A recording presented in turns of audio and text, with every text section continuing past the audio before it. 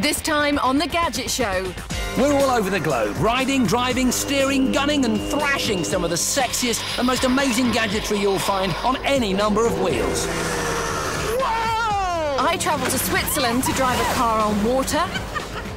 Ortis heads to the desert to test drive a sand bike that accelerates faster than a Ferrari Enzo.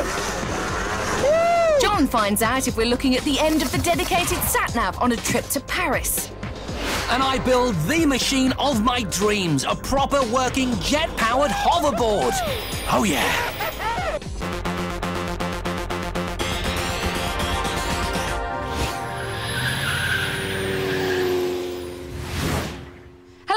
Welcome to the Gadget Show. Now, this week, uh, we're doing a kind of transport special, but I've got to be honest with you, Suze, transport doesn't really work for me as a word, you know? No, no, I know For me, transport summons up images of sweaty waiting rooms in train stations or, you know, some lardy lorry driver pulling into a lay-by, munching on a burger with his bum cleavage out the window. Do you know what I mean? Bit of man cleavage. A bit of man cleavage. Oh, it's not very sexy, Not is it? least bit. Transport. And yet, all the stuff we've got on today's show is incredibly sexy. Yeah, very much so. So maybe instead of a sort of transport special, we should think of it as a sexy stuff on wheels special. Oh, or no, not wheels though. Yeah. Sexy stuff on air, Nice. water, sand Yeah. special. Okay, let, me just tune you into what we're talking about here, okay? On today's show, you're going to see a jet-powered hoverboard. Is that sexy enough for you? That is sexy. All that's right. coming up later in the show. But to kick things off, I have got something to start with that's very sexy. Nothing new there then, eh? A few weeks ago, I drove some of the amazing concept cars made by Rinspeed, a small Zurich-based company who are known worldwide for creating truly unique futuristic vehicles. But there was one car there that was so awesome, so fantastical, that I just had to go back to Rinspeed the next day to experience it for myself.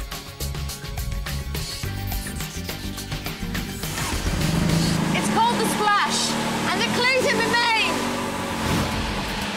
Well, it steers, it brakes, and it corners just like a normal car, but it sounds very different because the engine, believe it or not, is from a snowmobile. It's 750 cc's, two cylinders, and half the weight of a normal family car. And it's built to be light so that it can go off-road. But not the kind of off-road that you're thinking of. Oh no, something far more extreme. Costing a million pounds to build, the Splash is an amphibious vehicle like no other, and I was about to go for a spin in it. They weren't going to let me loose on Lake Zurich behind the wheel, though. Piloting it can be a tricky business, so I handed over the controls to Frank, Rinspeed's owner.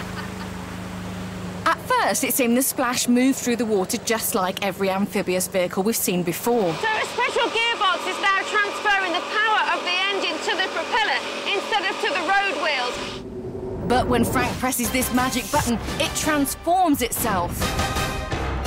The bodywork opens up to reveal an extendable propeller that drops down into the water, and on either side of the car, V-shaped hydrofoil wings unfold and the spoiler rotates to form a tail wing. As Frank accelerated, the nose of the car rose up, and it felt as if we were taking off as we flew across the water at 50 miles an hour. Incredible! The wings work in a similar way to aircraft wings. The pressure on the underside builds up as the speed of the splash increases until the car is lifted up and out of the water.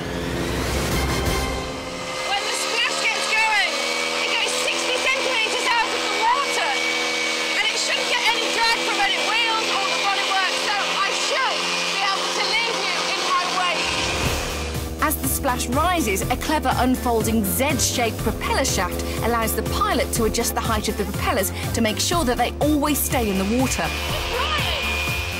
But keeping the car above the lake was not as easy as it looked. Frank had to delicately control the angles of the hydrofoils and the speed of the splash to maintain its balance. And when he got it wrong, it was me that knew about it.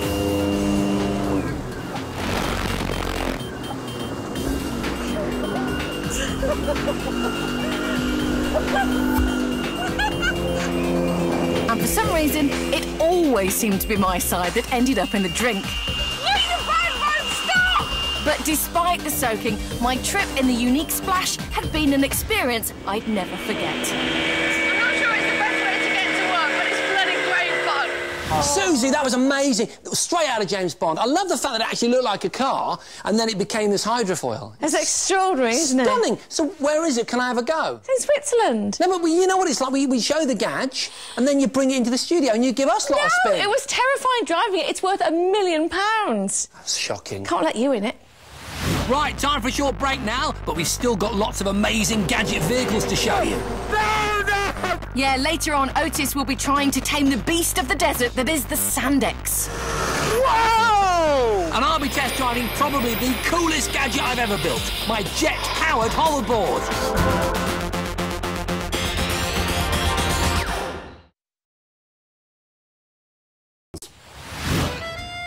This is Paris, one of the world's most magical cities, a must-see destination for any globe-trotting tourist.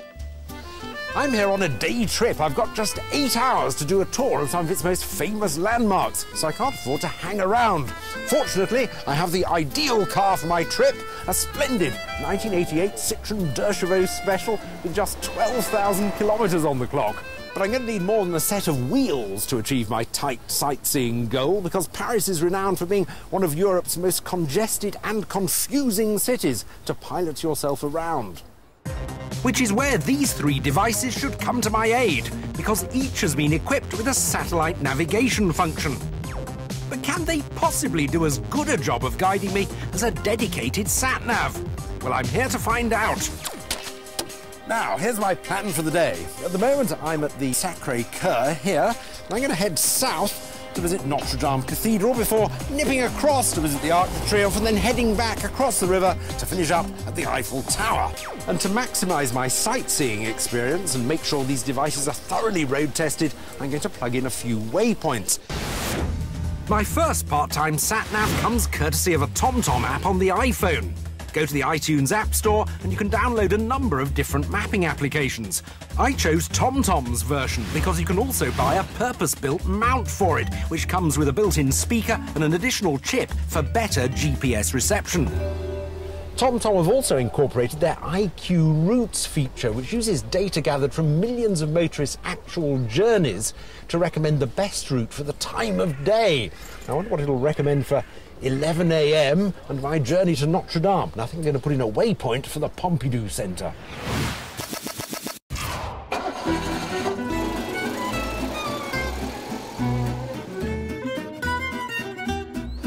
It's a good clear screen. I mean, it's actually rather like having a normal TomTom. The voice instructions come through reasonably loudly on the cradle. After 200 yards, bear right. Hmm.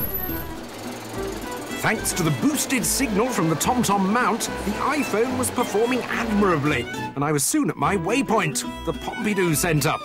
However, I wasn't convinced that the TomTom application was giving me much help with the traffic. Parisians are so impatient. There's no use hooting at me. Well, I'm so much for these IQ routes. Well, maybe this could be unexpected congestion. It doesn't actually have the live traffic that you get on uh, proper TomToms or the HD traffic. So you have to make do without those. Would they be useful? I can't tell. That question aside, I felt the iPhone had operated with the same efficiency as a normal TomTom unit, and I was duly delivered to the front door of Notre Dame. Completed in 1345, its central window is a massive 13 metres in diameter. However, there was little opportunity to admire it because time was cracking on. For the next leg of my tour, I'd be using the Archos 5 internet tablet. For an additional payment, this multimedia device can be equipped with sat-nav functionality provided by N-Drive. The Archos has the luxury of a 5-inch screen, though you do have to plan ahead a bit more. For my trip to the Arc de Triomphe via a waypoint at the Louvre, for example, I've got to think ahead and plan an itinerary. And to get there, I have to go through the cumbersome menu system. My N-Drive, manage my itineraries, create one, put a place on it. Add, POI, Paris, yes, culture, museum, Musée du Louvre. Add, add, POI, Paris, I would have put the town in again. Tourism, 3D landmark, Arc Triomphe, done. Itinerary, okay, navigate. 250 yards, turn right, I think we're there. Whew. Not quite such loud instructions as the iPhone, although it's a bigger unit, and they sound a bit distorted as well. See, I couldn't hear that over the noise of the engine. I rather like these 3D representations of local landmarks, though I suspect you won't be getting them if you're not in big cities like London and Paris. In spite of those few sound issues, the Archos delivered me successfully to my waypoint. Well, sort of. Ooh, I've got a picture of the Louvre on here. Actually, this is taking me to a useless bit of the Louvre. You'd never want to go in there. It was time to move on, but at this point, the Archos completely lost its bearings. Ooh, and we've lost the signal. Can't be no entry. Doesn't say no entry on here. However, it duly recovered, and I was back on my way. Ah, the Champs-Élysées. And I, can, of course, can see the Arc de Triomphe. I'm getting myself primed, ready for Paris roundabout aggression. I'd reached my second destination, though the Archos hadn't piloted me with anything like the confidence of the iPhone's TomTom. The Arc de Triomphe was commissioned by Napoleon to toast his many victories. Get out of my way! But my celebration at reaching the mighty arch had to be brief, as dusk was now falling.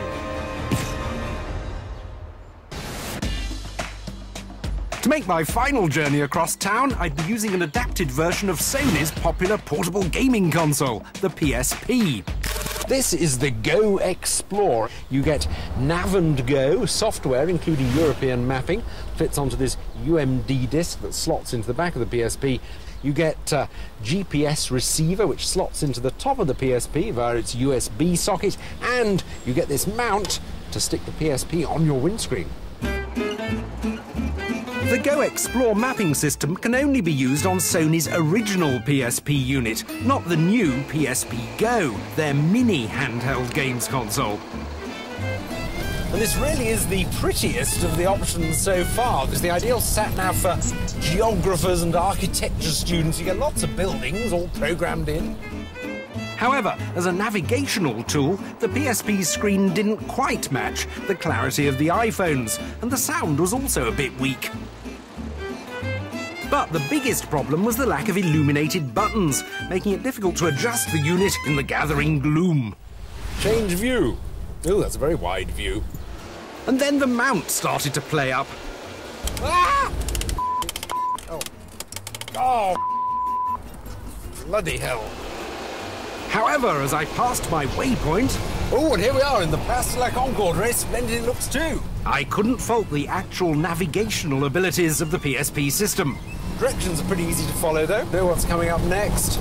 I felt the PSP was guiding me to my destination almost as well as the iPhone, though it hadn't proved as user-friendly. Ah, well, I can see the Eiffel Tower. The Eiffel Tower is remarkable because it was only meant to be a temporary structure, so it shouldn't really be here. Happily it is, and so was I. But had the sat-nav add-ons performed as well as a purpose-built sat-nav? The Archos certainly hadn't, and only gets two Gs. Although I liked the big 3D screen graphics, it was complicated to set up. It had a poor speaker and lost its way every now and then. The PSP with Go Explore gets 3 Gs. It provided good navigation, but was let down by an inadequate speaker and a lack of illuminated controls, so it too would be a questionable substitute for a dedicated system. But the TomTom equipped iPhone deserves 4 Gs. It's easy to use and offers precise navigation.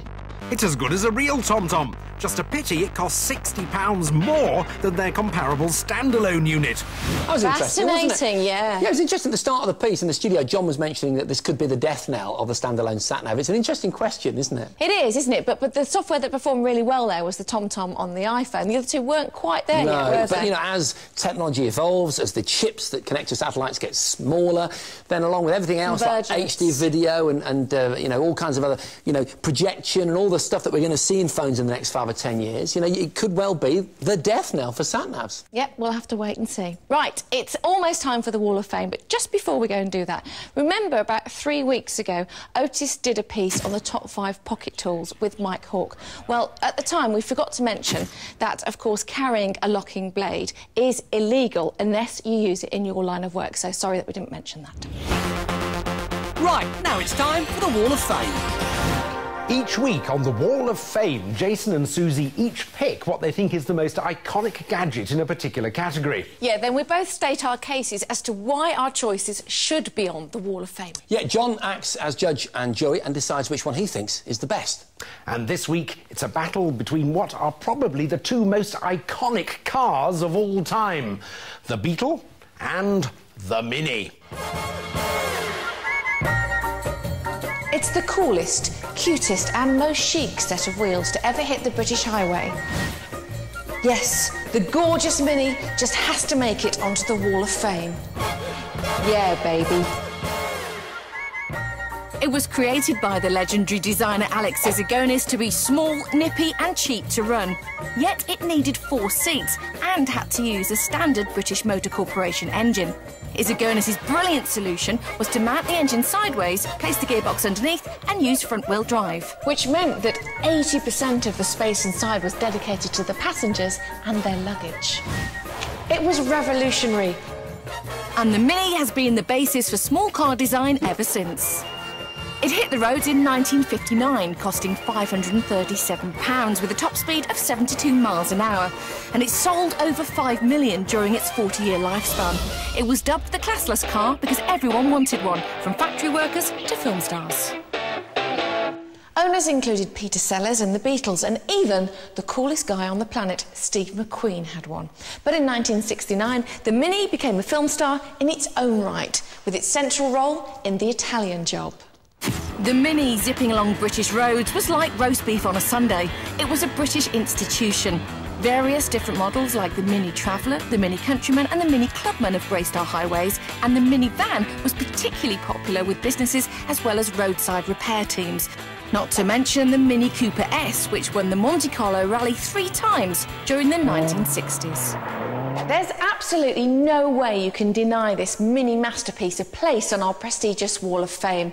It's a British icon and it changed driving forever. It's already been voted the car of the century, and this year it's 50 years old. And look, Jon, I got you one for your mantelpiece. Groovy. Oh, come off it. Mr. Bean drove a Mini, whereas my vehicle is the very epitome of cool. Peace, love and happiness. Yeah, man. I'm, of course, talking about the VW Beetle. It all started in 1933 when Hitler ordered his pal, Ferdinand Porsche, to design a people's car, or Volkswagen. This had to be a cheap, basic vehicle capable of carrying four people at speeds of up to 60 miles an hour. Porsche got to work and five years later came up with his motor masterpiece. It had a lightweight air-cooled engine which was mounted at the back of the car for better traction. But as soon as mass production got the thumbs up, it ground to a halt as the Second World War broke out. But when the war was over, and under the supervision of British Army officer Major Hirst, production was back up and running. In fact, the British government was so impressed with the German car, they ordered 20,000 of them. Due to its shape, the Volkswagen became affectionately known as the Beetle. And by 2003, when the last Beetle rolled off the assembly line, it had become the longest running and most produced automobile of a single design. As for Suzi's car being a movie star, the Beetle is a proper Hollywood movie legend. It's been in all five of the Herbie movies, and it's got serious gadget movie credentials. Bumblebee transforms into a Beetle in the movie Transformers. You don't get much better than that. The Beetle is a cult classic and has become synonymous with cool. It's not a big fire-breathing, fuel-munching supercar, but is way cooler than any Ferrari, Lamborghini or Maserati could ever be. I mean, people who drive those have crease lines in their jeans, for goodness sake. The VW Beetle is the funkiest car on the planet. Since they first went into production, 21 million of these cars have been sold. No Wall of Fame is complete without a VW Beetle. It's historic, gadge perfection on wheels. Thank you very much. Very interesting. As ever, there were a couple of questions. Jason, the Beetle. Lovable in many ways. I mean, it's my first car, actually, and I've still got it. But it's never been very good to drive, you know. Oh, no, I absolutely agree. Complete pig to drive. Completely awful. And the, and the heater doesn't work either. But, do you know what? There's just something about the Porsche design of this car that's just so cool. It just aches to have a surfboard on it and someone dressed similar to me driving it. it. It's just a really, really cool car. Hmm, and Suzi, the Mini. Whereas the Beetle was a huge world success. They sold over 20 million of them. Mean, they managed to sell 5 million minis. Oh, yes, but this is the Wall of Fame, not the Wall of Sales, Jon. This is about true icons. Look at this little British beauty. It's like a TARDIS, so small on the outside and inside so roomy. Very difficult to decide. I mean, both these cars are so cool and iconic. I mean, you could argue forever about Herbie versus the Italian job, but I think it comes down, actually, to a battle of technology and which car was the most influential. And therefore, the winner is. The Mini! Car. It was brilliantly designed, superbly packaged, and basically the template for small cars ever since. And for those reasons, it deserves its place on the Gadget Show's Wall of Fame. Yeah, baby. Right, time for another short break now, but still to come. Ortis test drives a sandbike that accelerates faster than a Ferrari Enzo. And the wait is almost over. Soon I will reveal my truly awesome jet-powered hoverboard.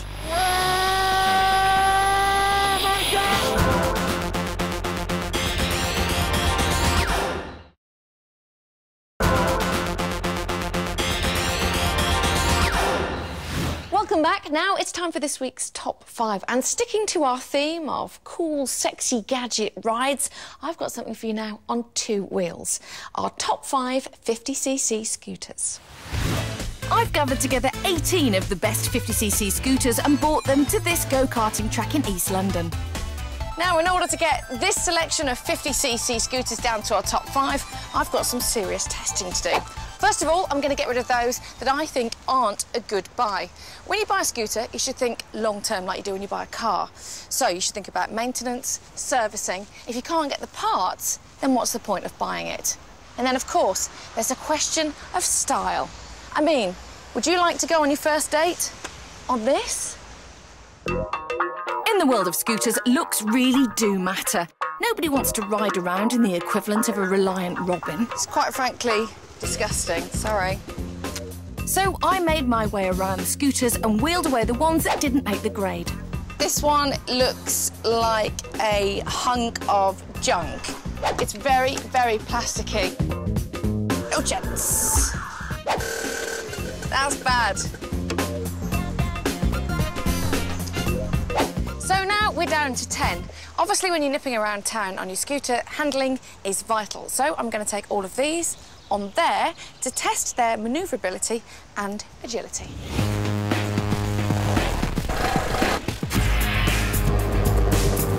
As a commuter, it's vitally important that you're able to power your way out of trouble and keep up with the traffic.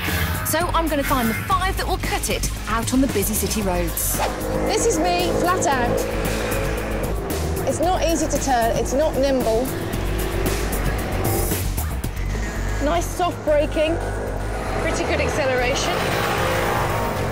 Obviously, this bike's aimed at the young, sporty, nutty market, and it's lovely. I would describe it as being fairly sluggish. It's iconic, it's beautifully styled. I think this scooter's one for getting the paper on a Sunday morning, and that's about it. Do you know what? This has been one of the hardest top fives I've ever done on the Gadget Show. I came here today expecting to test a load of hairdryers masquerading as bikes, but I've been really pleasantly surprised by the quality. So, after much deliberation and a bit of head scratching, here are our top five 50cc scooters. At number five, it's the Peugeot Speedfight 3. The Peugeot has really good acceleration, so you can really get yourself out of a tangle. Sticks to the road beautifully. Number four is the Piaggio NRG. Very comfortable, very stable, seems to hold the road very nicely. Seems fairly smooth, brakes well. The number three spot goes to the Kymco Super 8. Unlike some other two-strokes, this is quite smooth. This is a bike that you feel that you can just throw around, keep the revs on. Oh, it's really lovely to ride. At number two, it's the Yamaha Neo. For a 50cc bike, this Yamaha is pretty enjoyable to ride, I would say. And I think it looks pretty smart. And our number one 50cc scooter is the beautiful Vespa S. I love the fact that it has a retro feel. I love the chrome dash. Accelerates well, holds the curves beautifully. What's not to like about a Vespa? That looked like fun, Suze. It was a great morning's filming. Just bizzing about that little track. It must have been great. All tight and twisty. I, have got to say, I did agree with you. The Vespa looks I knew the you'd like that business.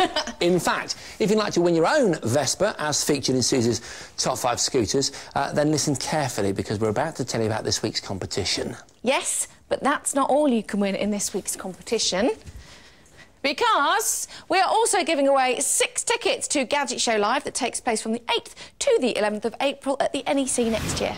That'll give you access to all four halls of the exhibition full of tech. And we'll also throw in six VIP tickets to our 4,000-seater Super Theatre, where you can come and see Suzi, Jon, Ortis and I perform a live version of the Gadget Show. For more details and to buy tickets, go to our website. That's 5.tv slash gadget show. And be warned, the show is selling out fast. And if you win the competition so that you don't have to worry about transport, we will lay on a limo to collect you from your home, take you to the exhibition, and then take you home again afterwards. Wow. You're also going to get a whole bunch of tech if you're lucky enough to win. In fact, so much tech, you could probably put your own gadget show live on. Here's the list of the stuff you just might win. As well as a Vespa S scooter that was number one in my top five, you could also win an Apple iPhone plus the TomTom app and in-car cradle that came top in Jon's test.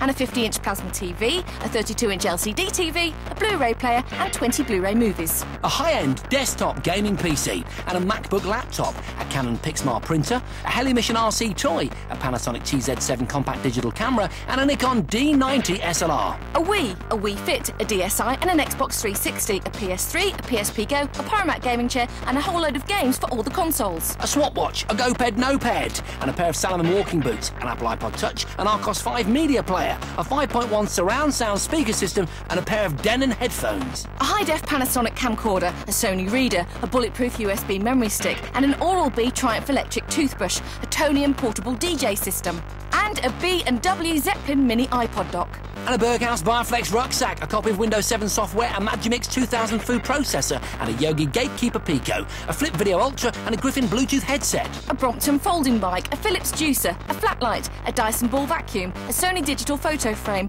All that, plus six tickets to the Gadget Show live from 8th to the 11th of April next year at the NEC in Birmingham, plus a limo to take you there and back again. It's a prize fund worth nearly 16 and a half grand. And to be with a chance of winning the lot, you'll need to know the answer to this question. Which of the following landmarks would you find in Paris? A. The Eiffel Tower, B. The Colosseum, or see The Acropolis? To enter, call 0904 1616 555 or text A, B, or C to 63555. Or send your answer, name, and contact telephone number on the back of a postcard or sealed envelope to Gadget Show 17, PO Box 46556, London N1 0WW. Calls cost £1.50 from a BT landline. Calls from other networks may vary and from mobiles will cost considerably more. Text costs £1.50 plus one message at standard network rate. For rules, go to 5.tv slash win. Lines close at midday on Monday, the 30th of November, and two days later for postal entries. Of course, we'll show you the question again at the end of the show. Good luck. Right, I think it's only fair that I should tell you that we are about to press the turbo booster and possibly mix in a little bit of testosterone because in a few minutes Jason is going to show you how to build possibly the coolest machine that he has ever made a jet-powered hoverboard. Mm -hmm. But first of all, Ortis in the desert on a bike, the likes of which you have never seen before. This is the Sandex. It's a dune bike designed for no other reason than to go as fast as possible and have as much fun as possible, as I was about to discover in the deserts of Dubai. It's the brainchild of four-time world snowboarding champion Urs Iselin. I guess he must have got bored with all that snow and wearing big jackets. Urs, uh, this machine looks like a, a, a customized snowmobile. Tell me about it.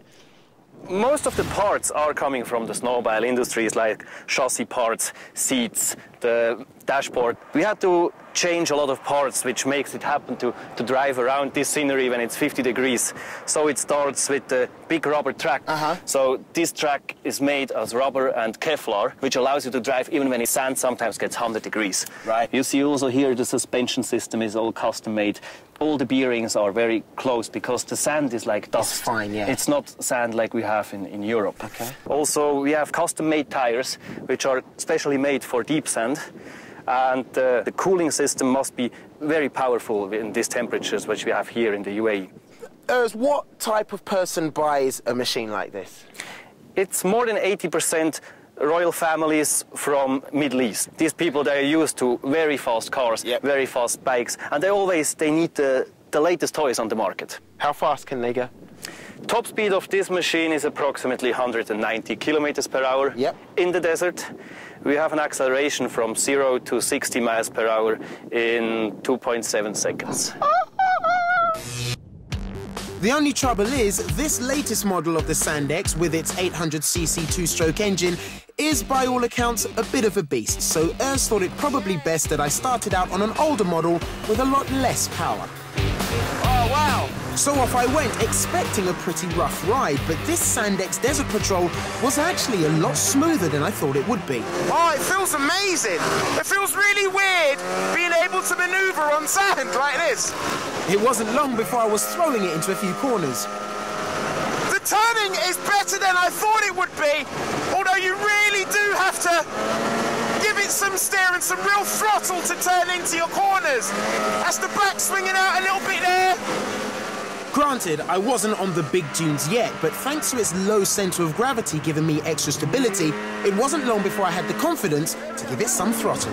When you want it to go fast, no questions asked whatsoever. She really does just open up. Amazing fun out here in the desert on one of these. I think after that tremendously successful practice run there, I'm ready for the black one.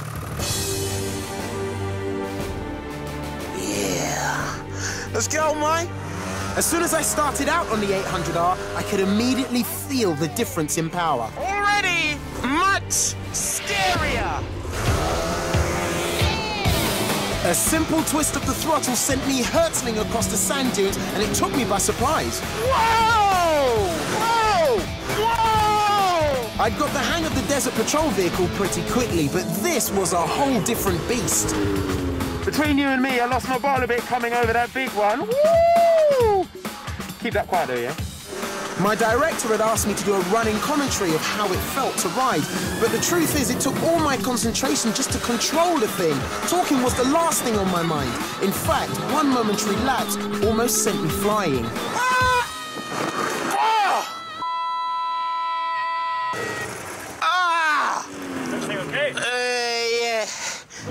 Happened was when I hit the floor, I threw forward, smacked my knee on it.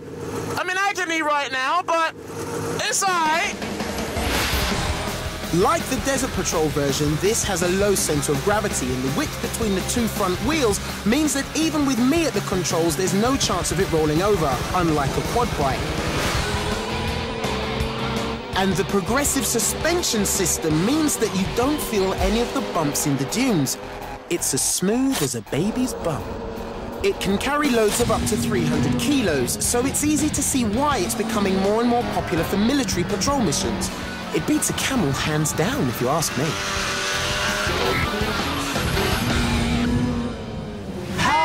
How awesome am I?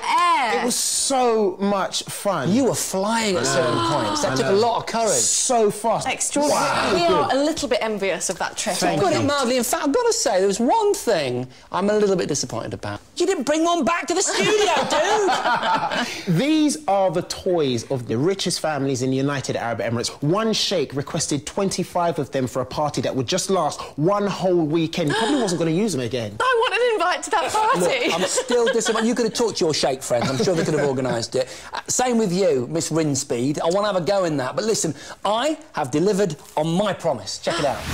What do you think's under that shroud? Jon Bentley. I, I certainly hope not. What I'm hoping is underneath there uh, a jet-powered hoverboard. Do you want to see it? Yes, yes, yes. Well, you have to wait until after the break.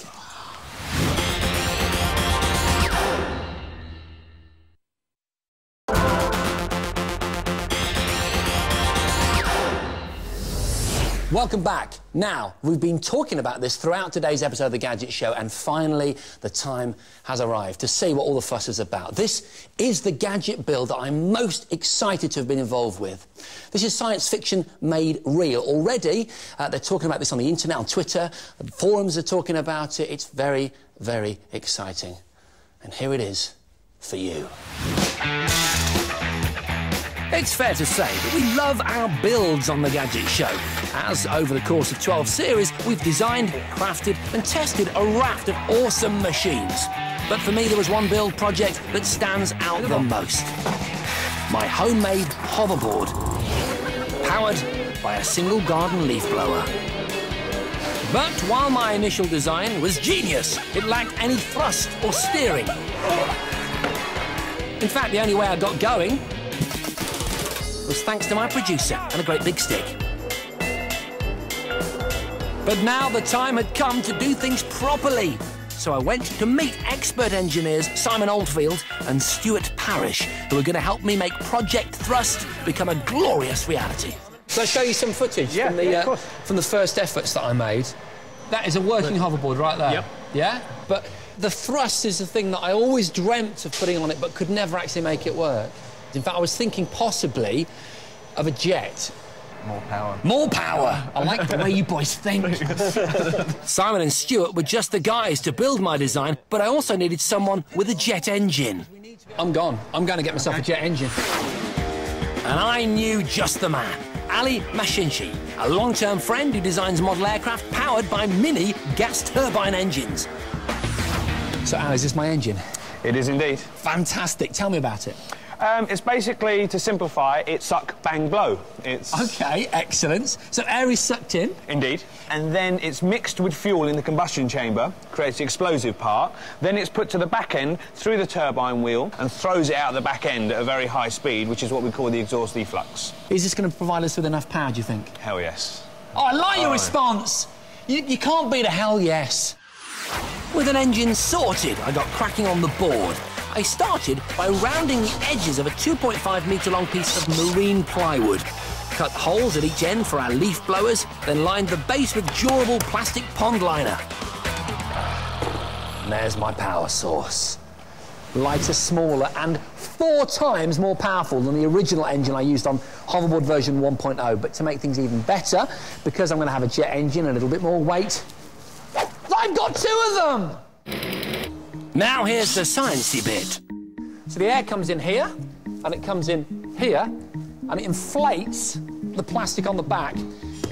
This, however, the grommet, as I call it, essentially makes an inflatable donut, which if I ran the two engines without doing anything else, would just go bang. This would inflate and pop. However, if I place some holes around the grommet using this punch, then this inflates, the air will escape through the holes, and that's how the cushion of air will be created on which I will ride.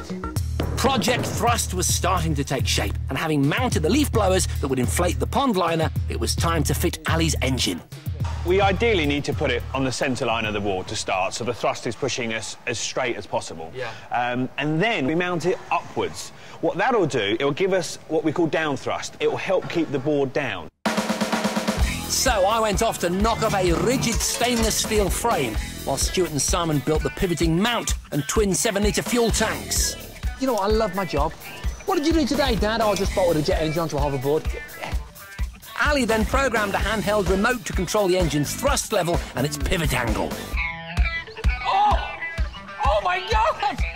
Al, it is absolutely amazing. All that remained was to apply some gadget show livery and buff up the metalwork. The hard work was finally over. Project Thrust was ready. With two leaf blowers pumping 800 cubic metres of air an hour and a butt-clenchingly powerful 60-pound thrust engine, all was set for my first test run along this 1.2 kilometre stretch of Army runway. I've got to say, I've got that familiar feeling in the pit of my stomach that I get every so often on the Gadget Show, this ominous feeling that I'm about to do something really, really stupid. But fortune favours the brave, apparently. So after we fired her up, I bravely pushed the throttle forward. This is brilliant! I feel like an evil Bond villain! The RPM of the turbine was steadily increasing. Can you hear that thing?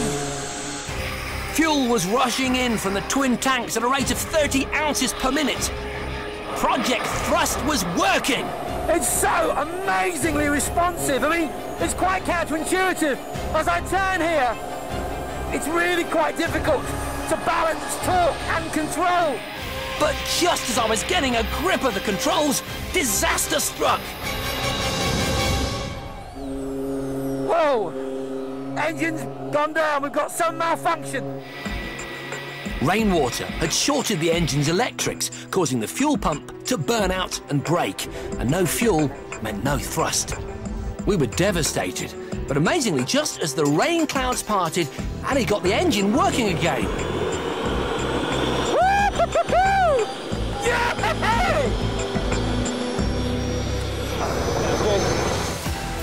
However, we'd quickly diagnosed another problem. Our pivoting bracket wasn't responding anymore. But that wasn't going to stop me. I attached a rudder handle to the engine and opened it up. Spool it up for the power. Let's go, go, go!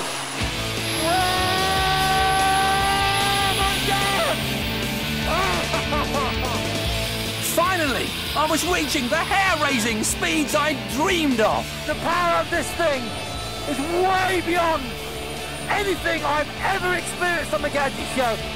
This is really quick. This is the run I was looking for. that is the way. That is the way to drive.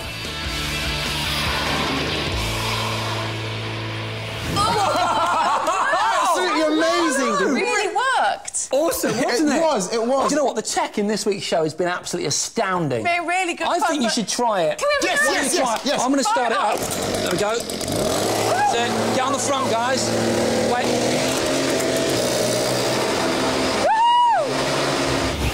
Next time on The Gadget Show, it's our winter special.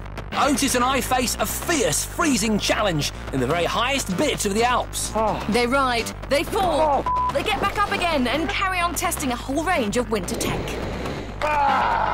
But who will be crowned Gadget King of the Snowy Mountains? Meanwhile, Jon and I will be staying safe and warm indoors testing the very best party console games you can buy.